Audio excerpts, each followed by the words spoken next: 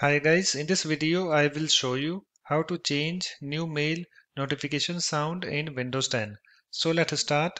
So let me minimize this file first, okay? So just click on this search box and type control panel. So here I have this control panel, this app. So just click on it. You can see it's now opened and after that you have to go to this view by, click on this category and then click on this large icons and then click on this sound. And I have this sound this window opened.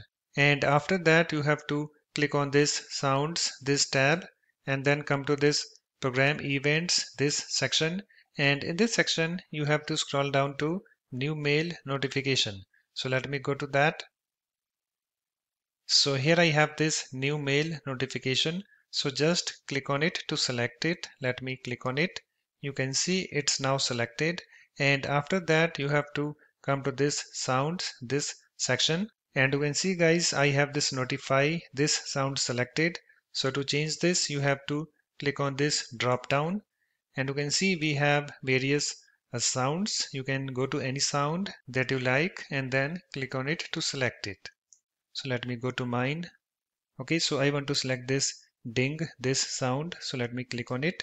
You can see it's now selected and you can also test this by clicking on this test button. You can see the preview. And also guys if you have your custom sound then you can select that also. So just click on this browse button. Go to the folder where you have your uh, custom sound and then click on it to select it. Okay? And after that just click on this open button so I don't have any custom sound, so I don't want to select. So let me close this by clicking on this close button, okay? And after you're done, just click on this apply button and then click on this OK button. After that, you can close this window also. So that's it. In this way, you can easily change new mail notification sound in Windows 10. If you like my videos, please support this channel by subscribing to it. Thanks. Bye-bye.